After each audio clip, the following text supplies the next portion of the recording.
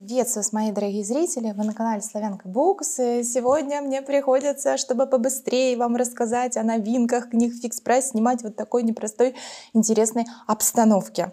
Значит, э, долгое время у нас не было никаких новых книг в Фиксе. Помните, даже классика последняя была очень давно, как бы я считаю, э, и то в мягких обложках, а книги в твердых обложках, это вообще уже не помню, когда последний раз завозили. И вот нас опять радует, это здорово, книжками в новых, э, значит, обложках. Цена, конечно, для многих покажется завышенной, это 299 рублей, но на книги некоторых издательств нет дешевых цен. Например, на тот же корпус меньше 700 рублей я вообще нигде не встречала. Разве только на крутой какой-то распродаже за 500 рублей можно купить, а здесь за 300 всего лишь. Все книжки в классных, хороших обложках, как всегда, бумага газетная, ну что поделать, такое есть, да. А вы знаете, что некоторые книги, я сегодня о них расскажу, продаются также и в э, обычных магазинах, просто в супер обложке, но бумага такая же газетная. Поэтому э, ознакомьтесь ознакомиться с книгой за 300 рублей, я считаю, можно вполне себе позволить. Тем более покупать можно абсолютно не все книги. Итак, у нас сегодня огромное количество новинок. Начнем с того, что я себе приобрела. Я приобрела в этот раз три книги себе.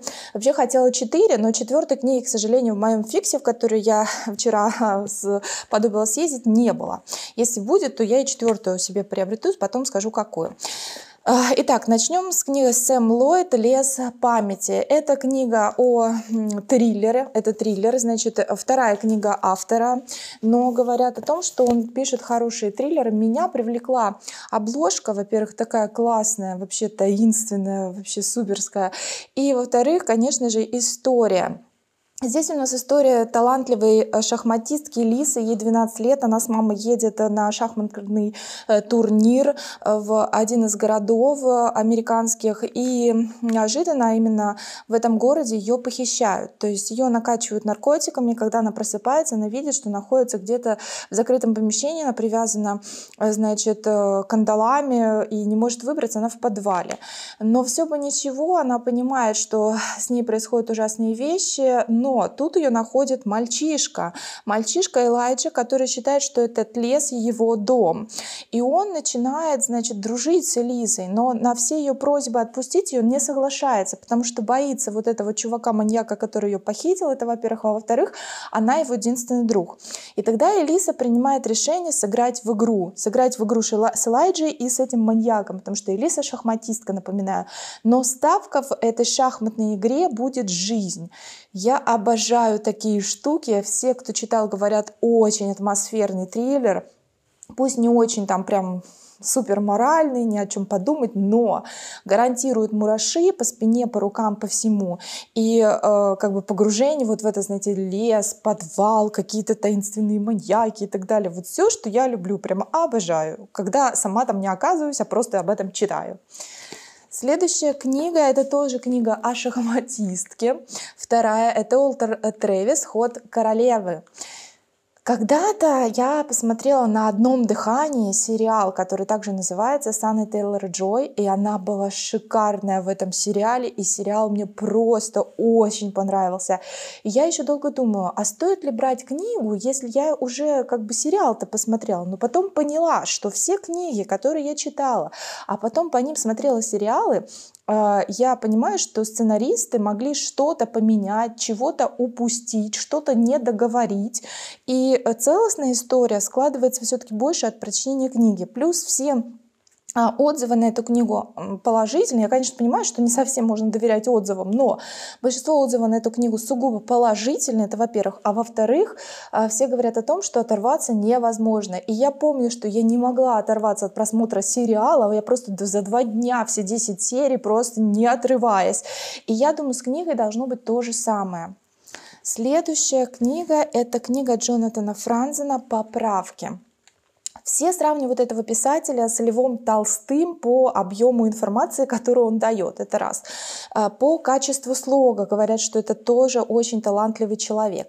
Это настоящий американский роман, то есть если вы любите вот такие большие семейные истории, а я такие истории люблю, еще со времен Стейнбека «Гроздья гнева», это прям вот мои истории, и мне это нравится, и говорят, вот читайте. Давайте посмотрим, что за отзывы. Значит, поправки «Большая литература». Из мозаики сложно соединяющихся семейных отношений здесь складывается картина жизни не только американской, но и жизни вообще. Поправки стоят в одном ряду с Буденброками Томаса Мана и «Белым шумом Делила». Замечательное произведение. Энергичная и чистосердечная книга побуждает читателя размышлять и смеяться. Э, этот роман принес Джонатану Франзеру всемирную известность. Семейная история, рассказана с иронией и любовью, оказалась наиболее универсальной. Книга получила национальную премию, переведена на 35 языков. Если вы, в конце концов, не полюбите каждого из героев Франзена, вы, возможно, просто не любите людей. А, значит, в оригинальной книжке от корпуса вот это слово поправки написано с э, переносами по прав ужасно, как бы мне не нравилась эта обложка. А здесь они, конечно, сделали умно в единое слово без переносов, но э, закрыли лицо ребенка. Вот здесь ребенок, как бы его не видно абсолютно. Вот это мне тоже не нравится. Ну зачем вы вот зачем вот кусок ребенка ушел, одни ножки остались. Короче, будем почитать вот эту американскую историю. Теперь расскажу о тех книгах, которые я не купила, но они есть в продаже в фикс прайс. Первая книга – это Борис Акунин «Ореховый Будда». Это повесть, повесть приключенческая э, про священную статуэтку, которая из Японии попадает в Россию 18 века, где в это время правит Петр I. И я, в общем-то, я не читаю Акунина. А, Еще с тех времен, когда он стал писать про э, историю государства российского, то есть он почувствовал себя не писателем, журналистом, а историком, и я прочитала первую, первую книгу и поняла, что Акунин не любит Россию как таковую. И последние события, его все эти высказывания подтверждали и подтверждали эту точку зрения. Поэтому в «Ореховом Буде» я не удивляюсь, что люди пишут о том, что он, сравнивая Японию и Россию, дает приоритет, конечно же, Японии, которая была суперразвитая страна в 18 веке, страна чудес, в то время как немытая э, грязная Россия с тупорылым царем Петром I отставала от великолепной Японии просто как моська от слона, как говорится. Поэтому я не знаю, хотите, читайте, хотите, не читайте. Я Акунина не читаю. Следующая тоже писательница, которая вот с одной стороны, значит, хорошо пишет, а с другой стороны ее позиции меня вообще бесит. И я э, до всех этих событий, конечно же, читала ее книги, она мне даже в чем-то нравилась, теперь нет. Не буду я донатить этой, этому товарищу, значит, а почему я неопознанно говорю? Это Кристина Старк, ее книга «Гончая Лилит», которая появилась в фиксе. Я впервые, помню, год или два года назад купила ее книгу «Стигмат», «Стигмалион», тоже в э, фикс-прайсе тогда ее купила за 149, по-моему, рублей. И она мне очень понравилась, как напишет, потом еще несколько книг прочитала. У нее такие, э, знаете, остросюжетные любовные триллеры, обычно про арбузеров, про э, проблемы в отношениях. Вот в «Гончих Лилит» поднимается вопрос о девушках с низкой социальной ответственностью и о пороках общества. И еще одна, э, еще один товарищ, который тоже э, хает Россию как бы давно, в общем, начиная с прям самых, наверное, многие сказали, что он всегда был русофобом, и не только 24 февраля им стал. Короче, это Стивен Кинг. Это Стивен Кинг, его книга «Институт». Неоднозначные были впечатления об этой книге, тех, кто первоначально ее купил и прочитал.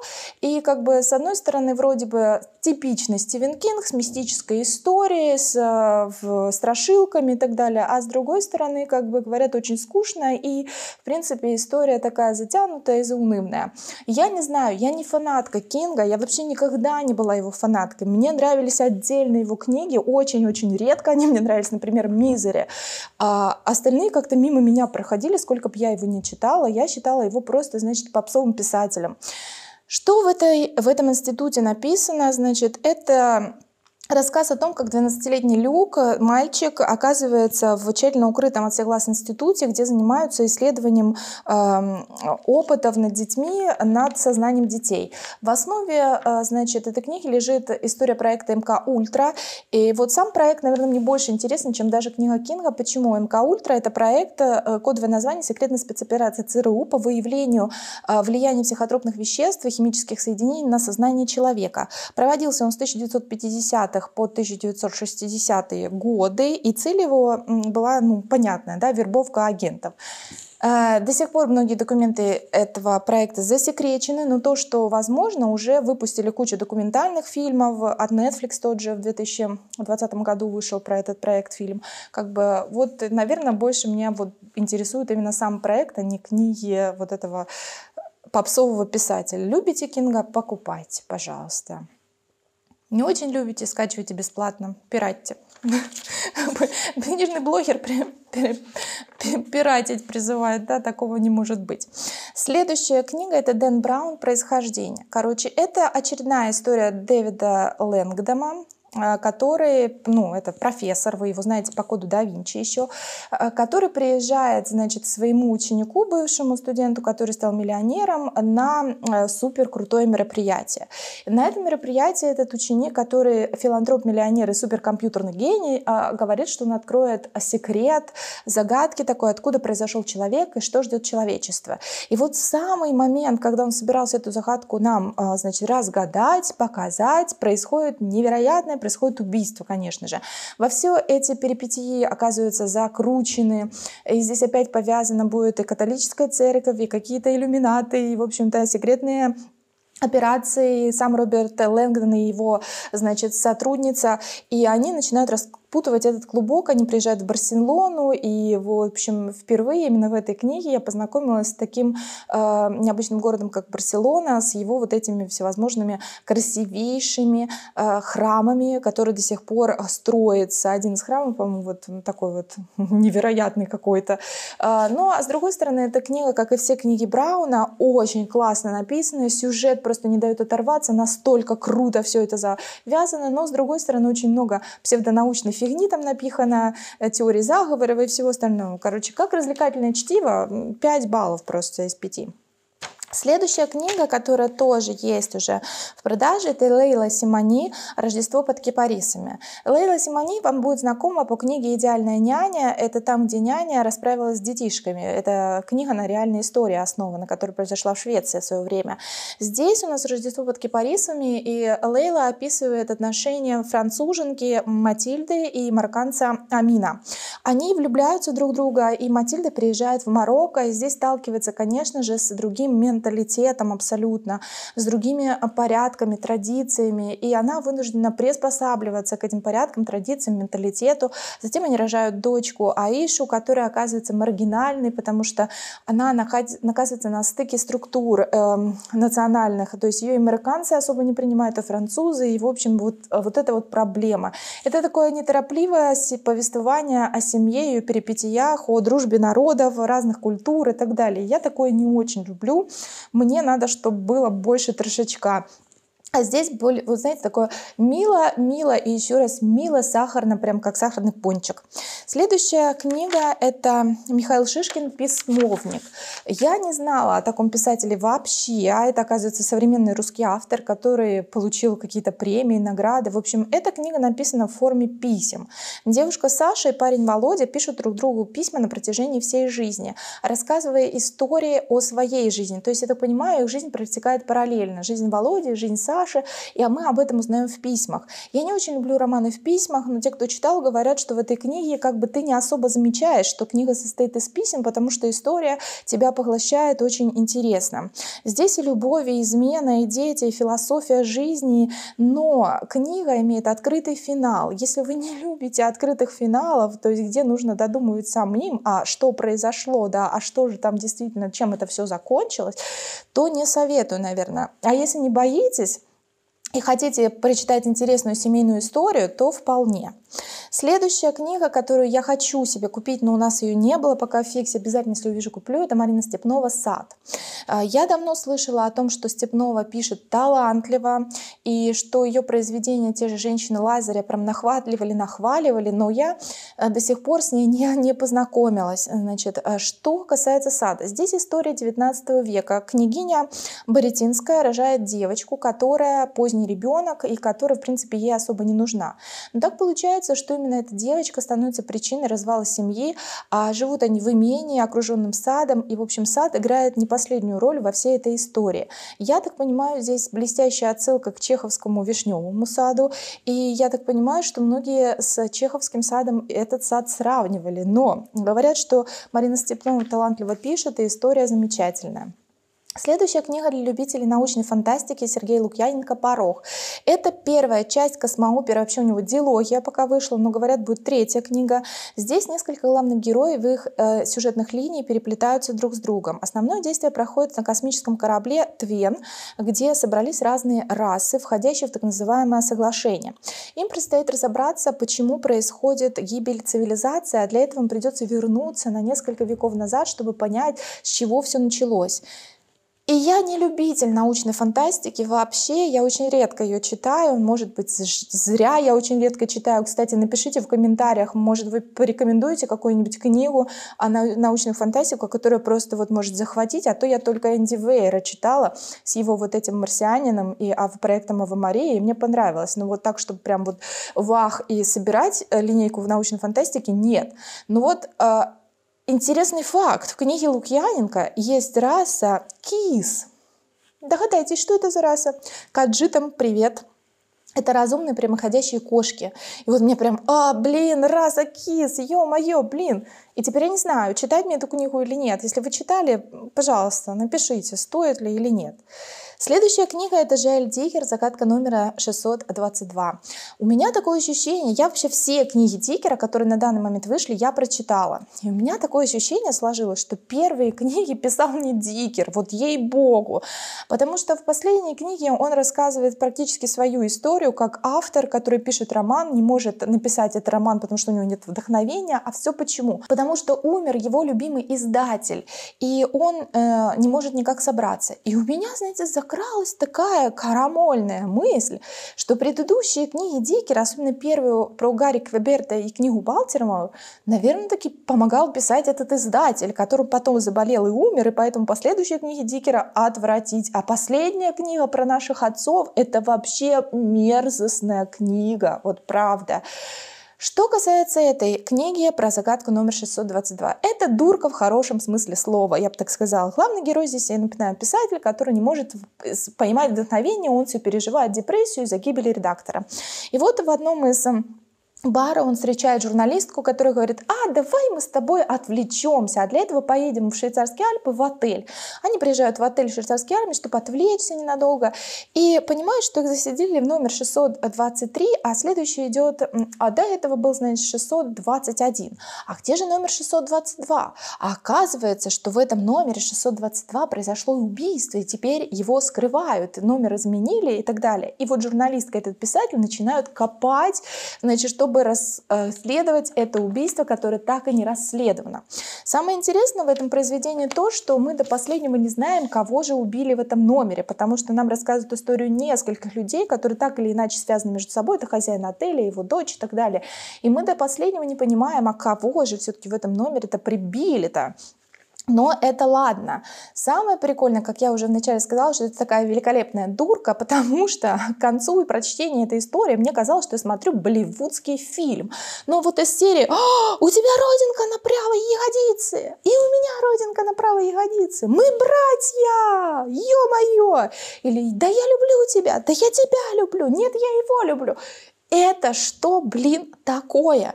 Но финал, где рассказывается о том, как провернули это убийство и почему все люди резко стали дебилами или слепыми, меня ввел в ступор. Я сидела думаю, блин, ну неужели ты не мог понять, что перед тобой он, нет, он не мог этого понять, потому что на нем было что-то другое надето. Короче, не буду вам спойлерить.